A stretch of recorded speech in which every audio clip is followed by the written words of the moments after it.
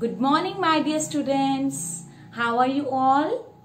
I hope you all are fit and fine. Beta, today we will do book reading of I sound words. One, dig.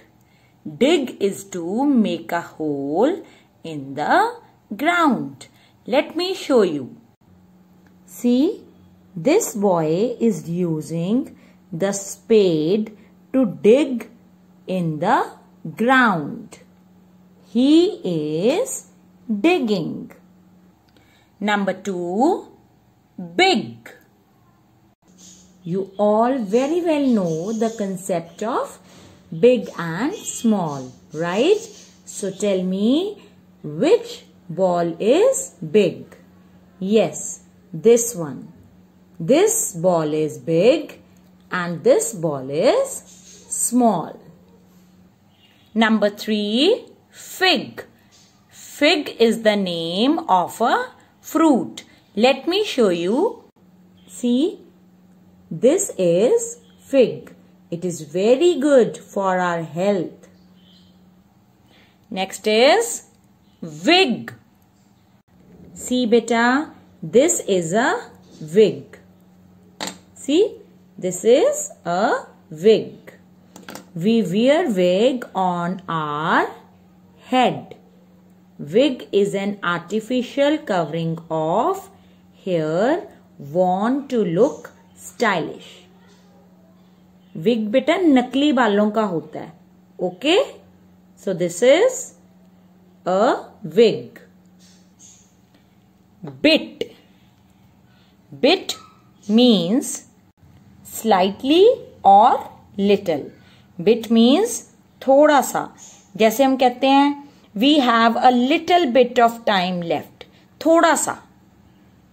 Okay that is bit next is kit you know what is kit kit is a collection of articles और things for personal use जब हम अपना सारा सामान एक pouch में डालते हैं that is our kit see this is a kit of colors and pencils. This is a kit of first aid.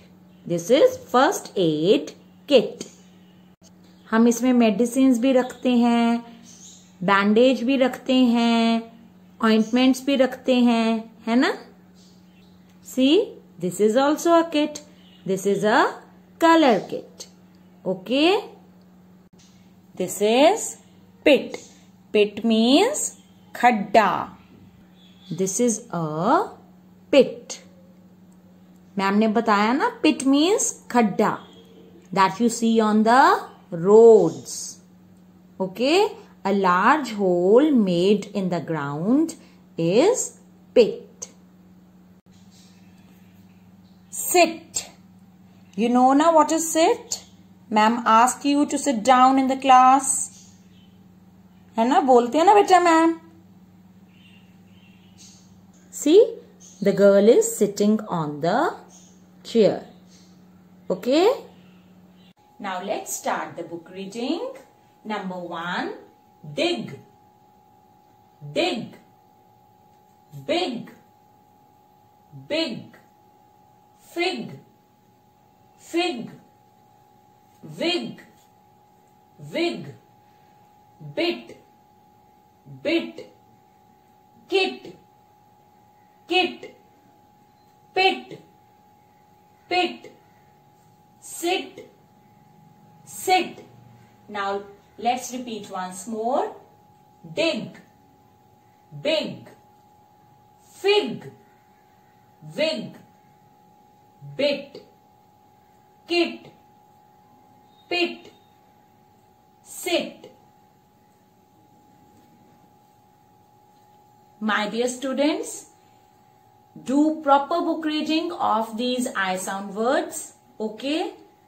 Ask your mama to write these words in some notebook and you will read it out from there. Okay beta? Thank you so much. Bye-bye.